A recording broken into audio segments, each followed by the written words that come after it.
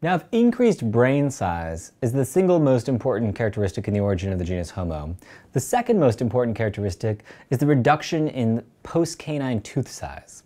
So recall that Australopithecines throughout their evolution have been, in many cases, getting larger and larger post-canine teeth.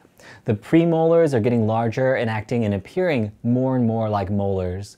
The molars are getting larger so that by the end of the robust Australopithecines, we have these hyper-robust chewing teeth some of them being almost the size of a quarter in terms of the surface area that they present.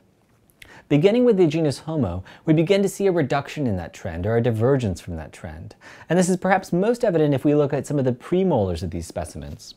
These mandibles here, for example, are some of the representatives of early Homo found first at Olduvai Gorge dating back to the early 1960s by Leakey, Napier, Tobias, and colleagues. And if you look at these specimens, one of the things you notice is that the premolars are much smaller than the molars.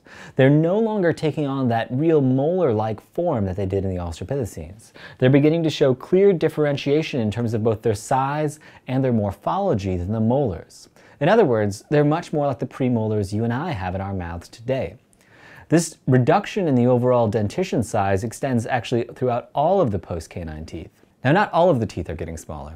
In some cases, the incisors are beginning to get broader and a little bit larger and occupying more space in the jaw.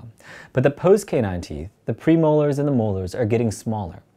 This change in dentition size and form presumably reflects an ecological change in terms of the diet of early Homo. Smaller teeth because presumably they don't need the large kind of chewing teeth that the Australopithecines had. So this reduction in dental size presumably corresponds to a change in dietary patterns and ecology in early Homo.